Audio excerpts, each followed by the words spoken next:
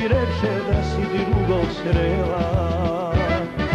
Da si mogla srce pokloniti nekom koga nikad nije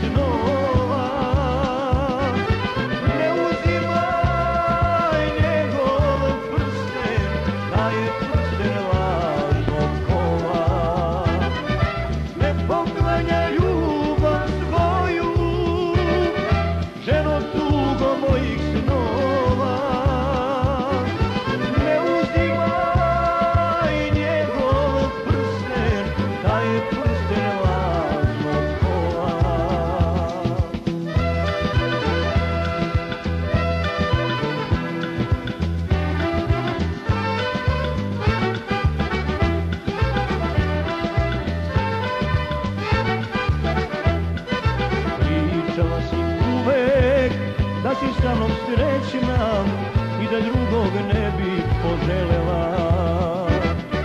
A sada si ruku obećala ono, kog si samo jednom